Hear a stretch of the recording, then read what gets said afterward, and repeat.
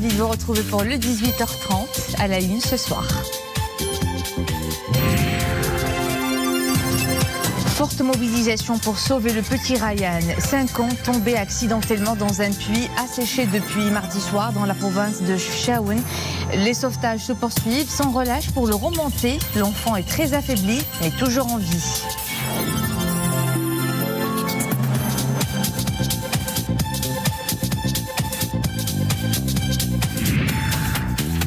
La station de sport d'hiver de Lukeinden aura sa cure de jouvence. Elle sera bientôt réhabilitée, voire transformée.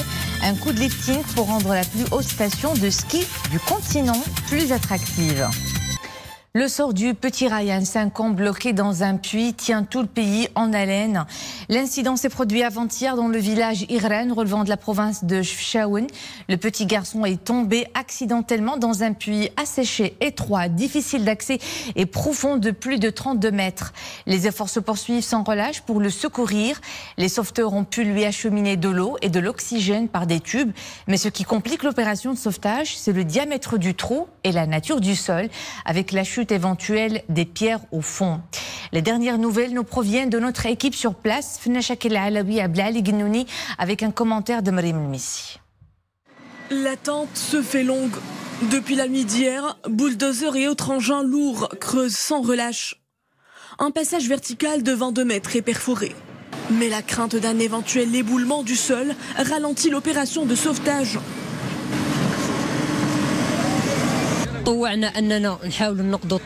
J'ai fait une première tentative pour atteindre l'enfant. Je suis d'abord descendu à 17 mètres de profondeur, puis je suis resté bloqué car en bas, le diamètre du puits ne dépasse pas les 50 cm. Je suis remonté, puis avec mon équipe, nous avons changé de technique. Je suis redescendu une deuxième fois jusqu'à 28 mètres. Il ne restait plus que 4 mètres. J'ai essayé d'élargir l'ouverture à l'aide de mes pieds comme j'ai l'habitude de faire pour libérer le passage à l'intérieur des grottes. Ça n'a malheureusement pas abouti.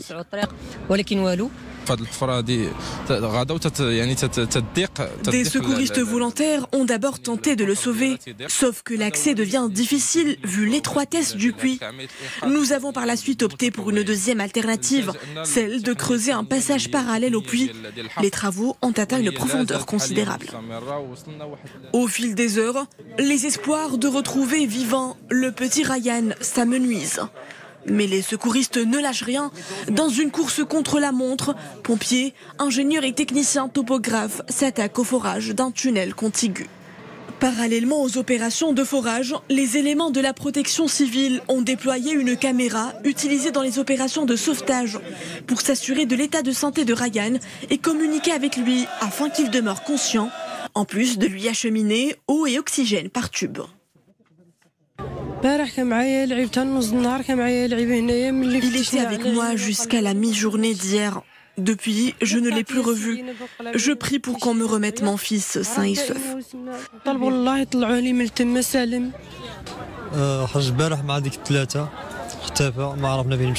Je n'ai plus aperçu mon fils depuis 15 heures. Peu après, je découvre qu'il est suspendu au fond du puits. J'ai aussitôt alerté les autorités. Je viens de voir sur la caméra qu'il est en vie. Il bouge, il a bu de l'eau. J'espère qu'il va s'en sortir. En attendant, les efforts de sauvetage se poursuivent de manière soutenue. Équipé du matériel nécessaire, un hélicoptère médical de la gendarmerie royale est présent sur les lieux. L'appareil est prêt à évacuer l'enfant immédiatement après son sauvetage à l'hôpital pour recevoir les premiers soins nécessaires. Une ambulance dotée d'un staff médical spécialisé en réanimation a également été mobilisée pour réussir cette opération de sauvetage, en plus de la mise en place d'un comité de veille et de suivi qui a élaboré des scénarios pour gérer cette opération et étudier tous les risques éventuels.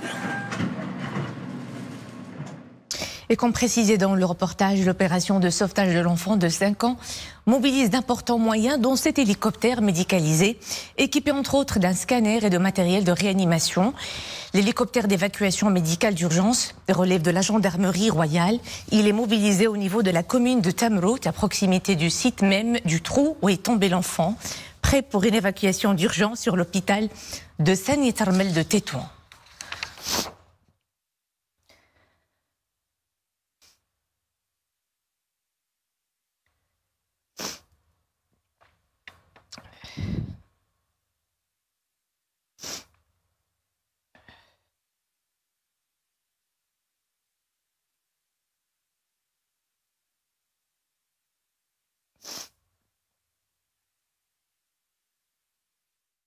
Une importante mobilisation donc sur place de moyens humains et matériels, y compris un hélicoptère médicalisé de la gendarmerie royale. Le ministre délégué chargé des relations avec le Parlement, porte-parole du gouvernement, a souligné en milieu de journée à Rabat que le Maroc dispose de tous les moyens nécessaires de sauvetage et que, je cite, nous pouvons demander de l'aide si le besoin se fait sentir lorsqu'il s'agit de sauver la vie des citoyens. Mustafa Baïta s'est exprimé lors d'un point de presse à l'issue de la réunion du Conseil du gouvernement. Tous les moyens médicaux disponibles ont été mobilisés pour accompagner Ryan une fois secouru et assurer son transfert à l'hôpital pour recevoir les soins nécessaires, a-t-il assuré. Mustafa Baites a affirmé que les commissions locales de secours ont élaboré une série de scénarios avec le suivi direct des ministres de la Santé et de l'Intérieur sous la supervision du chef du gouvernement.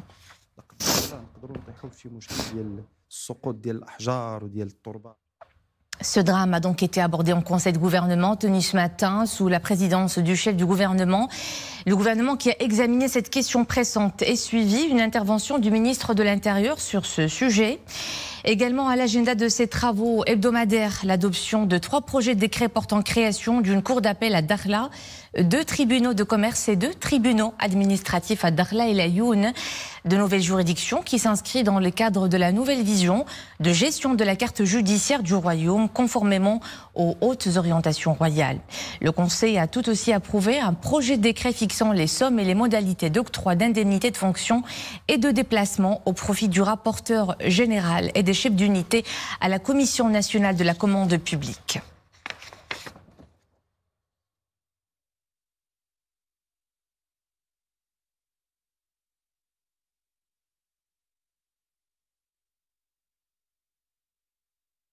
À présent, le bulletin quotidien des chiffres du Covid. Des infections ont baissé ces dernières 24 heures, 2861, mais le nombre de décès grimpe pour enregistrer un nouveau record, 51 morts en 24 heures. 98 nouveaux cas sévères ou critiques ont été admis en une journée en réa, dont 24 sous intubation. Et pendant ce temps, la campagne vaccinale poursuit son élan. Le nombre de primo-vaccinés a atteint 24 671 113 personnes. Plus de 23 96 000 ont reçu les deux doses, au moment où 4 645 130 personnes ont complété leur schéma vaccinal. Direction Addis Abeba en Éthiopie où le Conseil exécutif de l'Union africaine a poursuivi les travaux de sa 40e session ordinaire au siège de l'organisation panafricaine avec la participation du Maroc. Le ministre des Affaires étrangères de la coopération africaine et des Marocains résidant à l'étranger conduit la délégation marocaine à cette session qui se penche sur les projets de décision et de déclaration avec les recommandations appropriées pour examen par les chefs d'État et de gouvernement lors du 35e sommet ordinaire de l'Union prévu les 5 et 6 courants. Et parmi les moments forts de cette session, l'élection du Royaume du Maroc pour un mandat de 3 ans au Conseil de paix et de sécurité de l'Union africaine par le Conseil exécutif de l'Union. Le Maroc a, a eu plus de deux tiers des voix lors de cette élection. Les ministres des Affaires étrangères doivent procéder à l'adoption du projet de l'ordre du jour du 35e sommet de l'UA et des décisions de la 40e session euh, du Conseil exécutif. Le débat public sur la nécessaire réforme de retraite est toujours à la une. Le Conseil économique, social et environnemental apporte sa contribution. Dans sa récente étude Alerte CECE, e, le Conseil préconise l'accélération de la mise en œuvre d'une réforme structurelle et globale pour cela, l'élaboration d'un échéancier précis est une urgence en vue de mettre à jour et parachever les études et les réformes euh, paramétriques visant à assurer la pérennité des régimes de retraite. Le Conseil recommande l'instauration d'un régime national de retraite unifié basé sur trois piliers un régime obligatoire de base géré en répartition, réunissant les actifs des secteurs publics et privés et les non salariés, un régime complémentaire obligatoire contributif pour les revenus supérieurs au plafond. Le CESE recommande à ce titre d'examiner la possibilité de transformer la CIMER en organisme complémentaire de la CNSS avec cotisation à partir du plafond de la CNSS. Enfin, le Conseil recommande un régime individuel facultatif en capitalisation qui relèverait de l'assurance privée à titre individuel au collectif. C'est la plus haute station de ski d'Afrique, la station euh, Lukainden. Bientôt, elle va se refaire une beauté pour consolider davantage son attractivité.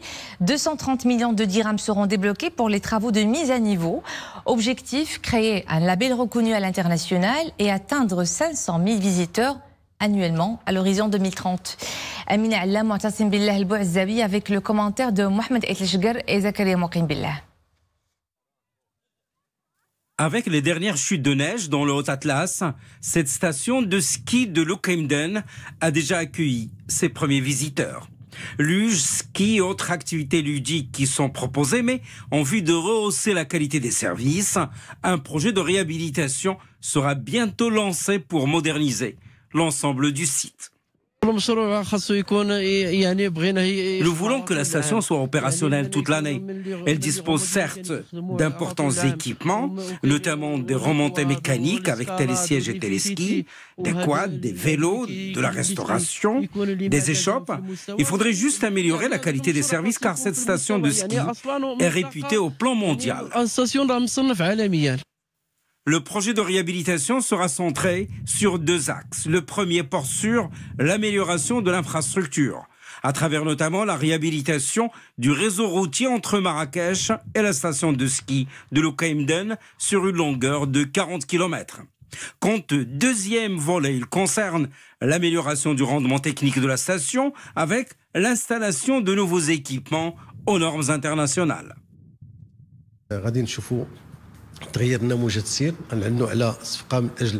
Il est prévu de changer le modèle de gestion de la station. Il y a également l'amélioration du rendement technique des remontées mécaniques, le renouvellement des équipements, l'exécution des travaux de maintenance, l'aménagement de pistes de ski pour débutants, d'autres pour les plus expérimentés.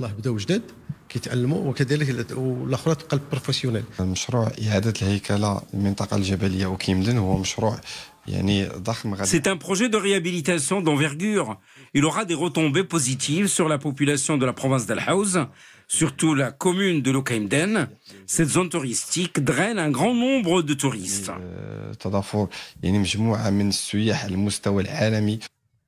Doté d'une enveloppe de 230 millions de dirhams, ce projet s'étalera sur 4 ans. Il prévoit de créer des activités de divertissement tout au long de l'année, renforcer la protection de l'environnement et valoriser le produit forestier. Un chantier ambitieux qui vise à tirer vers le haut le nombre des visiteurs de la station de ski pour le porter à 500 000 par an à l'horizon 2030. Et dans un peu plus d'une heure, à 20h exactement, la deuxième demi-finale dantesque se jouera entre deux géants africains, le Cameroun et l'Égypte. Le vainqueur rejoindra le Sénégal pour une finale de rêve. Elle fait du bien au moral et ses vertus sont avérées. L'art-thérapie est une démarche à la fois créative et libératrice qui aide à renouer avec soi et avec les autres. C'est ce que nous allons voir à travers une exposition collective qui donne à voir les œuvres picturales de neuf artistes, dont quatre médecins. L'exposition en prend ses quartiers dans une clinique à Casablanca, histoire d'alléger l'ambiance d'un milieu trop souvent inhospitalier. Mustafa Ouda, Driss Baddo et Dominique Orlando. Très souvent, lorsque l'on parle d'art-thérapie, c'est aux patients que l'on pense et aux bienfaits qu'elle leur procure, eux qui pour la plupart se sont retrouvés un jour confrontés à une maladie grave. J'ai essayé, euh, lors de l'Octobre Rose, de faire hommage aux femmes qui souffrent du cancer du sein. Il y a une femme avec, qui cache sa poitrine avec, euh, avec, euh, avec une timidité, mais il y a des couleurs. La couleur donne de l'espoir, avec un rouge à lèvres qui est rouge et, qui dit je suis là même si j'ai pas de, poitrine. Discipline à part entière, apparue sous sa forme nouvelle au début des années 70, l'art-thérapie s'applique également au personnel soignant, dont on imagine qu'il ne doit pas être simple de prodiguer tous les soins nécessaires à un malade, de s'attacher à lui et de le voir parfois mourir un jour vue notre travail, notre, euh, il y a beaucoup d'ondes négatives qu'on qu'on reprend. Et donc, une fois qu'on est face à une toile, on fait ressortir tout le stress, toutes les ondes négatives, toutes les charges de la vie quotidienne sur cette toile et on les métamorphose en quelque chose de différent, qui n'est pas forcément quelque chose de sombre ou de, ou de triste. On les transforme en couleurs et en formes qui, sont, euh, qui peuvent être aussi gaies et joyeuses. Ce que propose cette exposition qui tient place dans deux salles annexes d'une clinique de Casablanca, c'est aussi de ne jamais oublier l'engagement des médecins eux-mêmes toujours au chevet de leurs malades, en particulier en cette période de crise sanitaire mondiale qui reste toujours en cours. Et avant de nous quitter, je vous rappelle que la mobilisation se poursuit, comme les opérations de secours pour sauver le petit Ryan, tombé donc accidentellement dans un puits asséché dans la province de Shawen. On espère qu'on le retrouvera sain et sauf. Et c'était le club de fin de cette édition. Merci à vous de nous suivre. Demain, à 18h30, c'est Oumé Marami que vous retrouvez. À bientôt.